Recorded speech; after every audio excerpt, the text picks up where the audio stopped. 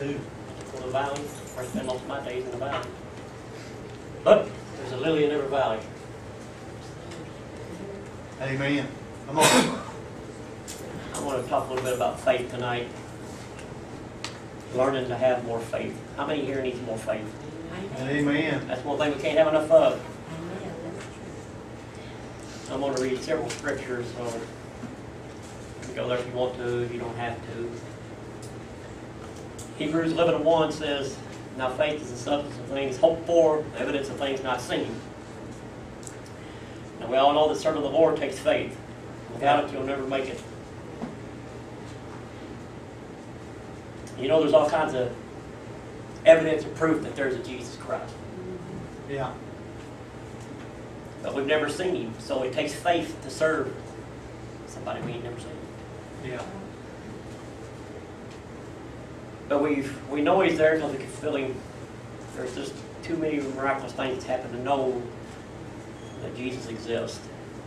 Yeah. Romans fourteen twenty three says, And he that doubteth is damned if he eat because he eateth not of faith, for whatsoever is not of faith is sin. Mm. So that lets me know that if you don't have faith, I guess it's a sin. Amen. The devil will try to get you any way he can. And the one thing he likes to do more than anything is slip doubt in your mind. He's real good at that. One, uh, one doubt he tries to get everybody to believe is that there's no Jesus. Yeah. One thing he's always brought to me several times when I'm going through a trial, just because I haven't get the prayer answered yet, he'll say, you know, Jesus don't really exist. He wouldn't answer prayer. I always call the, the devil a dummy, which he's not a dummy. The devil's pretty smart when he sneaks in. Yeah. But being on a potter's wheel, what it's all about, God puts us through things to build our faith, mm-hmm. Come on. to build our relationship with Him. Yeah. And without that, I wouldn't be, they probably would not be here. Yeah. You gotta grow.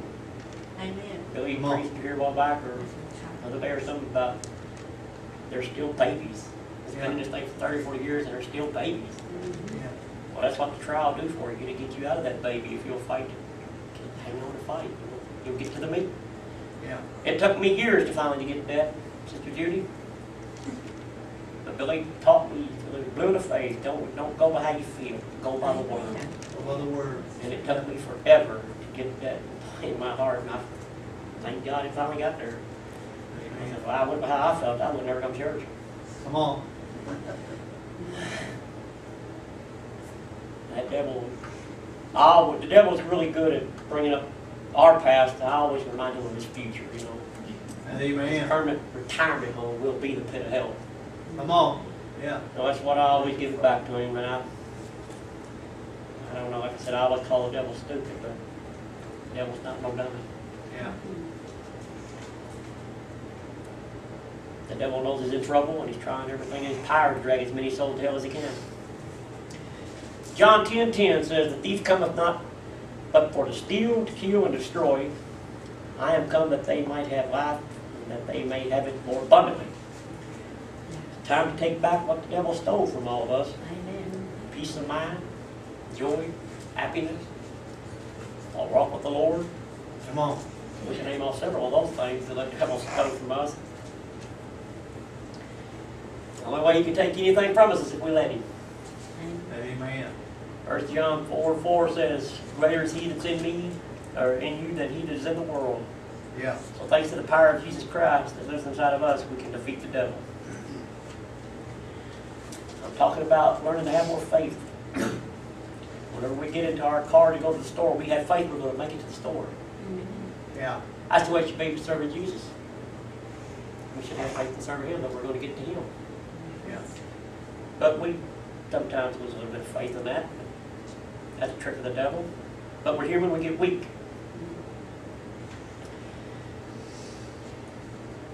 The devil tries everything in his power to stop you from making it.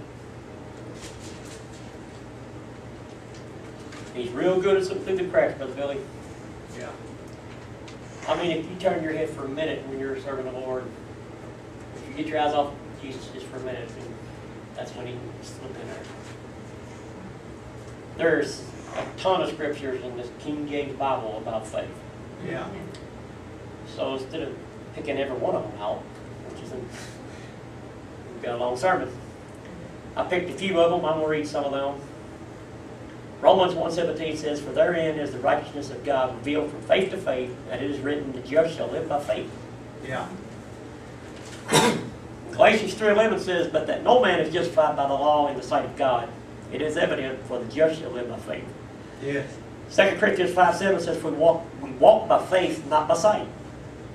Ephesians 2 and 8, For by grace are ye saved through faith, and that not of yourselves, it is the gift of God. Hebrews 10 38, Now the just shall live by faith, but if any man draw back, my soul shall have no pleasure in him. Now Hebrews 11 and 1, I don't know if y'all have ever read that. It's got several scriptures there about faith. I'm going to read a few of them. By faith, Abel offered unto God a more excellent sacrifice than Cain. By faith, Enoch was translated that he should not see death and was not found because God had translated him. For before his translation, he had this testimony that he pleased God. Hebrews 11 and 6 says, But without faith it is impossible to please him. Amen. For he that cometh to God must believe that he is, and that he is a rewarder of them that diligently seek him. Faith is very important. By faith, Noah built the ark. Yeah. By faith, Abraham, when he was called to go out into a place which he should, uh, should after receive for inheritance, obeyed, and he went out not knowing whither he went. Yeah. By faith, he sojourned in the land of promise, as in a strange country, dwelling in tabernacles with Isaac and Jacob, the heirs with him of the same promise.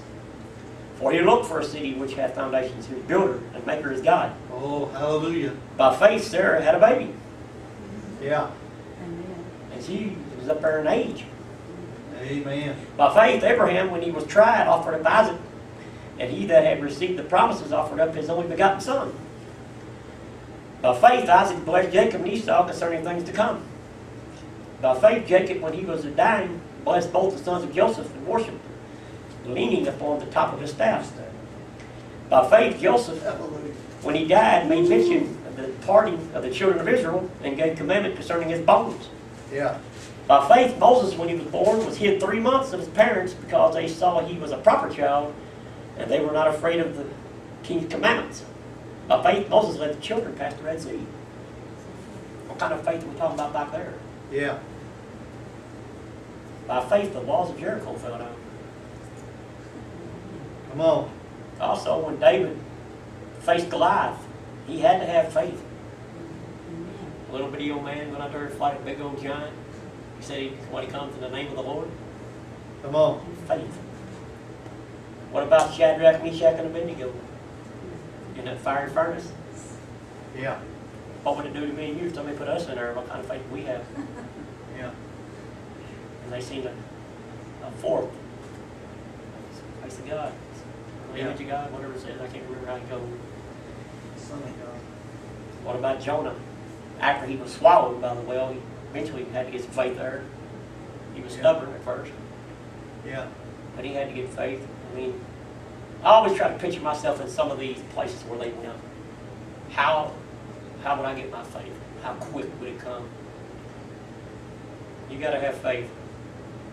If you don't have faith, you won't make it. You have to have faith in Jesus or you won't make it. Amen. Come on. I pray every day for more faith. I want to be closer to the Lord than I've ever been. The battle gets hot, but that lets me know I'm doing something right. Y'all just keep me in prayers. I try to make it every day. Give the Lord a hand for His word. Amen.